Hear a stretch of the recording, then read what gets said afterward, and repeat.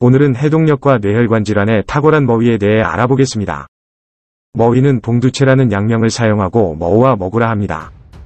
꽃봉오리 건조한 것을 관동화라고 부르며 서식지는 다소 습기가 있는 곳에 야산에 물이 지어 자라게 됩니다.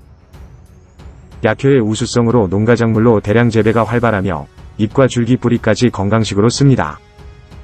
머위를 자주 먹으면 항체형 성작용으로 저항력과 면역력을 향상시키고 해독작용이 좋아서 니코틴과 카드뮴, 체내 해로운 독소가 모두 빠지게 됩니다. 특히 살모사에 물린 상처에 머위뿌리 19g을 찧어내어 환자 상처에 붙이거나 달여서 매일 1회 2, 3일 복용시켰는데 2일 만에 부은 것이 내리고 체온과 시력이 정상으로 회복되었습니다. 그리고 3, 5일이면 완치가 되어 머위뿌리가 해독력에 매우 좋은 효과가 있음이 입증되었고 한국자원식물학회지에서 암세포 생장 억제성을 실험하였는데 머위 뿌리에서는 61.5% 머위 잎은 34.9%로 높은 암세포 전자공해능을 나타냈습니다. 이중 위암세포는 41.9% 억제시켰고 간암세포는 72.7% 억제하여 항암 활성도가 매우 강한 약제임을 나타냈습니다.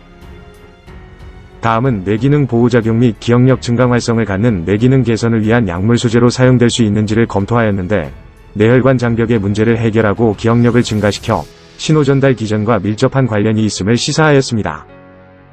또한 기억능력 개선과 학습능력, 기억능력 장애, 신경퇴행성 등의 뇌혈관 문제를 증진시키는 것으로 확인되어 현재 제약회사에서 뇌 관련 특허가 등록되어 있습니다. 그리고 충남대학교에서 머위 화합물이 알츠하이머병과 파킨슨병, 루게릭병, 허혈성 뇌졸중과 같은 각종 뇌질환 치료에 유용함이 입증되었습니다. 머위는 잎과 대를 뜯어서 나물로 무쳐 먹거나 장아찌를 담궈 먹을 수 있고 뿌리는 약용으로 쓰시면 됩니다. 나물로 무치실 경우에는 잎을 뜯어서 뜨거운 물에 한번 데친 다음에 당근과 참깨, 양파, 참기름 등을 배합해 무치시면 고소하고 식감이 좋아져 맛과 건강에 도움이 됩니다. 뿌리는 겨울에 굴취해서 건조시켜 달여 먹는 것이 제일 좋고 용량 20g에 물 1리터를 붓고 대추나 감초를 넣고 달이시면 됩니다.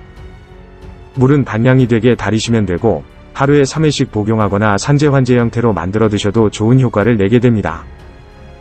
머위 전초에는 피롤리지딘이라는 자연독소 물질이 소량 함유되어 있어 과다 복용할 경우에 간기능 장애가 따를 수 있고 알러지 반응이 일어날 수도 있습니다.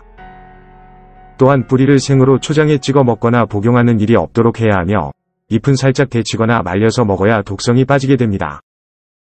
시청해주셔서 감사합니다.